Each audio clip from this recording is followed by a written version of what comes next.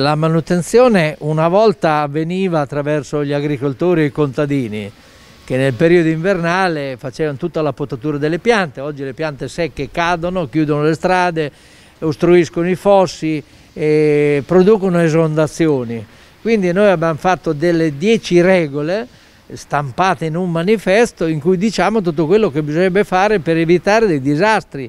per dire in eh, Viare dei Gatti l'esondazione di un fosso non pulito, non sistemato eh, dai proprietari delle aree, dal consorzio di bonifica, da chi ha le competenze, eh, ha creato non poche difficoltà. Abbiamo dovuto intervenire con dei mezzi pagati dal comune per evitare eh, che entrasse l'acqua nelle case, che facesse dei danni e quindi diciamo che una buona manutenzione idraulica del territorio fatta dagli agricoltori, fatta da tutti quelli che hanno competenza, dalla, dalla, dalla regione per esempio sui fiumi, il fiume Apsa e il fiume Foglia, la competenza oggi è della regione, dal consorzio di bonifica che è un consorzio degli agricoltori, per la pulizia, la manutenzione idraulica dei fossi, delle strutture e così via. Quindi è anche un appello che faccio a fare ognuno il mestiere nostro, perché se ognuno fa il nostro mestiere, io sogno un mondo perfetto,